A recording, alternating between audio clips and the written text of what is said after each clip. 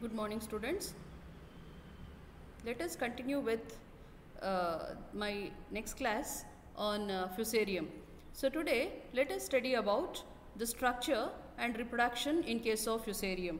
So, in my previous class, we studied about we studied about the general features of the subdivision Deuteromycotina. Now, let us study a type study under Deuteromycotina fusarium. So, as we all have studied also, this important characteristic feature of this particular fusarium is the type of the type of the conidia it produces. The type of conidia it produces the type of conidia that is the shape of the conidia that is it produces two different types of conidia that is called as macroconidia and microconidia macroconidia or the structures which are comparatively bigger than that of the microconidia and the characteristic feature is the sickle shaped structure. So if we observe that particular fusarium under microscope they are sickle shaped. That is a distinguishing characteristic feature of this particular fusarium so now let us study about this particular morphology of this particular organism and uh, the reproduction and significance of this particular organism in detail. So this is one of an organism which belongs to the class, it belongs to the class uh, hyphomycetes under subdivision Deuteromycotina. Students, you all know that Deuteromycetes fungi, they are commonly called as imperfect fungi because of the lack of the sexual phase. Sexual reproduction is completely lacking. Hence, they have been placed under the separate division that is Deuteromycotina. The class it belongs is is hyphomycetes, order Moniliales, family Demetriaceae and the genus of today's is which we are going to study is fusarium. So this particular fusarium, uh, fusarium comes from a Latin, Latin uh, word. If uh, fusus means spindle. That is the characteristic feature of this particular organism. Spindle shaped structure or a sickle shaped structure which it produce during its reproduction during asexual reproductive phase, they produce a special structure called as macroconidia. Because of the shape, it's called as fusarium. A Latin word, fusus means spindle. And this is one of a common organism uh, found in the soil. It's a soil organism and also being found associated with plants. And uh, it also causes diseases in plants especially one of an important disease which it cause is called as wilt disease a vascular wilt it causes a disease called as vascular wilt where actually it blocks the, the xylem and also they also have an ability of producing various toxin. Because of the blockage of this particular xylem xylem a water conducting tissue the transportation of the water is being affected. Because of which the plants start to wilt they dry and they die and also this particular organism is also known to produce certain mycotoxin. It also has an ability of producing mycotoxin in case of cereal crops and also it affects human and even uh, animals and also it enter this mycotoxin uh, you know they are toxic to human as well as the uh, the human or animal which where they consume such mycotoxin which has been uh, incorporated in the cereal crops it may enter into the food chain and this particular genus uh, includes many of the uh, the, uh, the pathogenic species of this particular organism causes various disease in economically important plant. So, Uh, the distinguishing characteristic feature of this particular organism is the colony morphology where on the surface it is white or pinkish in color reverse also maybe the colorless or pinkish in color you can come across. And the microscopic important microscopic characteristic feature is the microconidia which is sickle or spindle shaped structures which you can come across. Two different kinds of conidia we can come across. One is macroconidia other one is microconidia. So this is the distinguishing characteristic feature of this particular organism. And also this is a parasite as well as uh, as well as a saprophyte. So it is it is not a obligatory parasite. That is it can be either independent can grow as a saprophyte or it can be a parasite once it infects the plants then coming to its habit and habitat there are around 50 species of this particular fusarium has been uh, reported. Most of them has been distributed in temperate and in tropical region. Major of the majority of this particular species or as I had mentioned they are saprophytes and they are also the mild facultative parasite that is once it enters into the plant and it may also cause they get parasitized inside the plant and uh, they cause a disease in plants called as wilt disease. Then coming to the vegetative structure, the mycelium is branched, septate, hyaline, colored, inter or intercellular and uninucleated with with uh, uninucleated to multinucleated that is mycelium uh, they are branched they are septate they have a cross wall. And the kind of cross wall is a simple pore you know that. And they are hyaline or colored that is slight pinkish or pinkish color. And sometimes even light lavender colored species can also be seen this uh, fusarium species. And if they are uh, found as a parasite they are intercellular. That is they can be in between the cells or intracellular. They can enter into the cell of a, the host also. The uh, hyphae invades the tracheids see for example if this is a host tissue this is the host tissue especially the xylem xylem tissue they can enter into the tracheids and the xylem vessels the tracheids or the vessels they are all actually the tissues they, these are all the the region or the tissues of the xylem where they are vessels especially they help in the conduction of the water where the roots you know roots absorb the water and this particular water is conducted to the entire part of the plant. So what happened here? The, the so the xylem has got has got vessels vessels that is the water conducting region of the uh, xylem if this particular vessels if the, um, this fusarium has an ability to enter into this vessel of the xylem and they grow reproduce and they block they block this particular uh, uh, vascular tissue. So once this vascular tissue has been blocked what happen what happens to this particular plant? The conduction of the water water may interfere. And at the same time this particular organism also has an ability of producing the toxic substance. So once the xylem vessel have been blocked even this particular organism is also producing a toxic substance. And this toxic substance can also be translocated along with the water. And uh, because of this toxic substance as well as the blockage of the xylem uh, which affects the plant where the physiology of the plant is affected and finally the plant wilt and it will dry. Hence the disease is called as wilt disease. And the reproduction, coming to the reproduction in case of fusarium, fusarium as you know it's an imperfect fungi hence the reproduction is only by a sexual method where the perfect stage is completely lacking or it is not known and uh, uh, uh, during the process of reproduction, they produce three different kinds of conidia. One is macroconidia, microconidia and chlamydospores. Coming to macroconidia, macroconidia are produced, uh, they are produced on a simple or a branched conidiophore. See, this is uh, uh, the, the diagrammatic representation of the conidiophore. See, these are conidiophore. These conidio, you know, conidiophores are the structures which produces the conidia. These conidiophores can be either branched or unbranched, simple or branched uh, and they aggregates. This conidiophore aggregates together.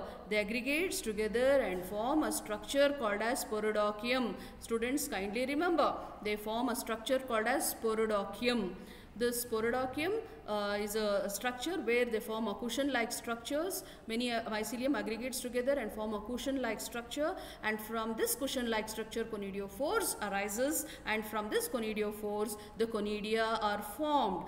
So such structures are called as sporodochium and uh, this uh, uh, macroconidia uh, they are terminal they are formed at the terminal cells. See for example this is conidiophore they are formed from the terminal region or a terminal cell of a conidiophore called as phialides. These are called as phialides. These are the structures which produces conidiophore those are called as phialides. From this phialides the macroconidia arises. This each of this macroconidium long linear curved. See, you can see the wet mount of this conidia, macroconidia. See here you can see some microconidia as well as some macroconidia. These macroconidia, they are curved or linear and it is multicellular. See, multicellular means single my, uh, uh, conidia has got many cells, many cell and they are septate. You can see the septa. The septa varies from one species to other. The septa can be either, it, it may range from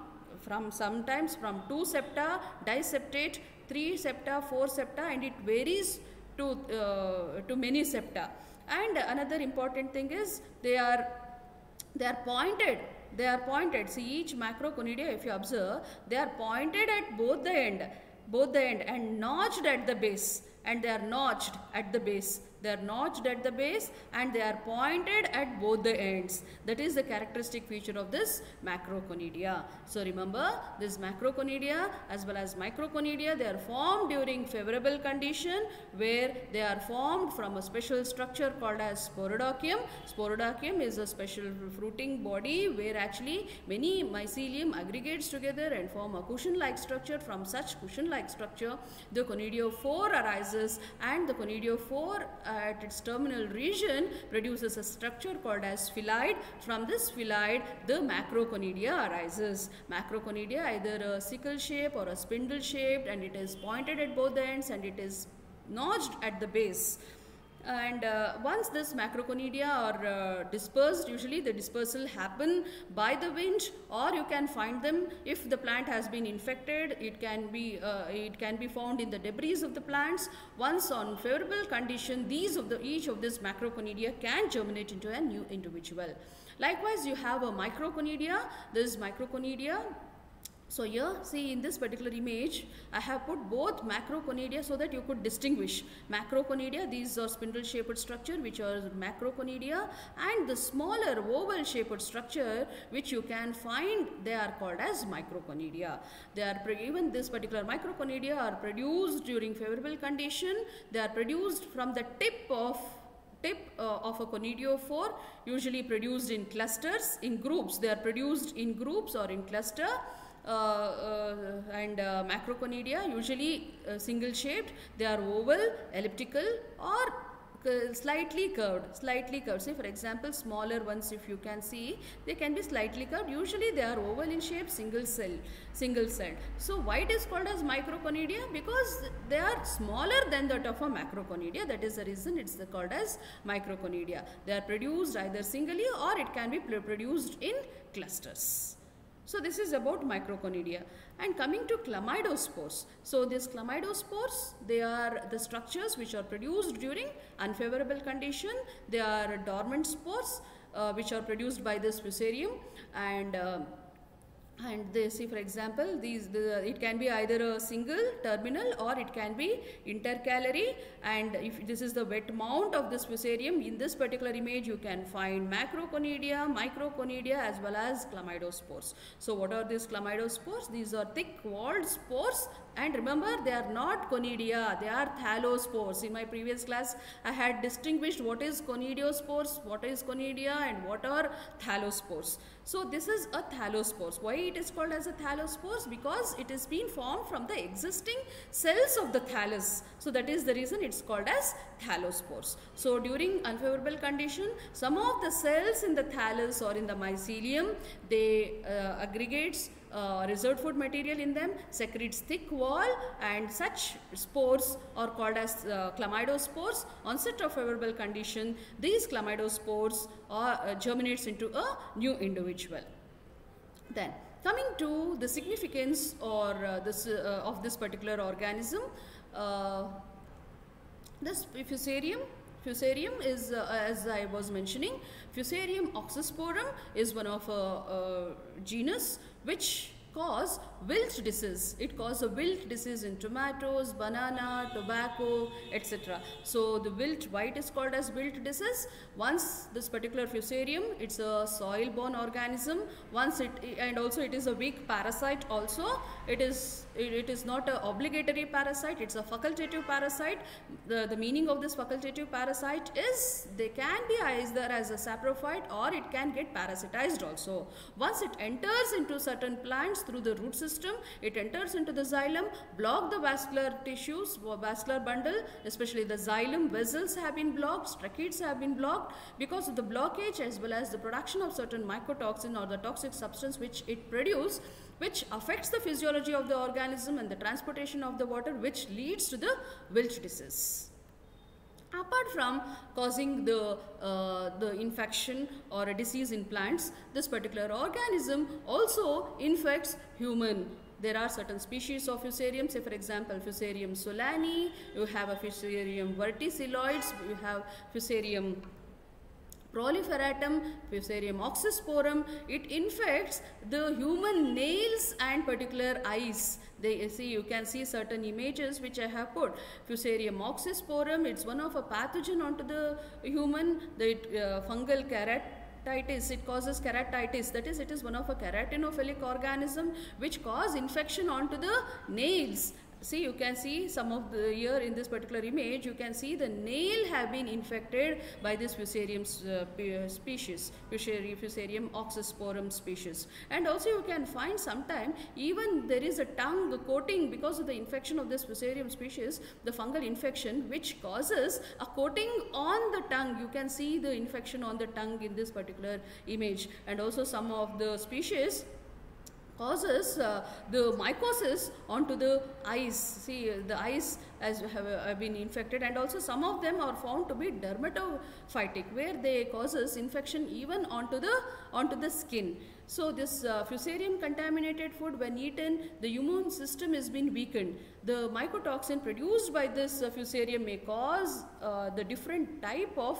cancer different type of cancer can also be uh, can also happen because of this mycotoxin which is being produced by this particular fusarium so and, uh, an important thing is this fusarium of course there are certain species of fusarium. Say for example fusarium graminearum species fusarium venenatum species uh, venenatum uh, fusarium graminearum species is one of uh, uh, the uh, the species of fusarium which is being used in UK where it is being used as has got a high quality of mycoprotein in them.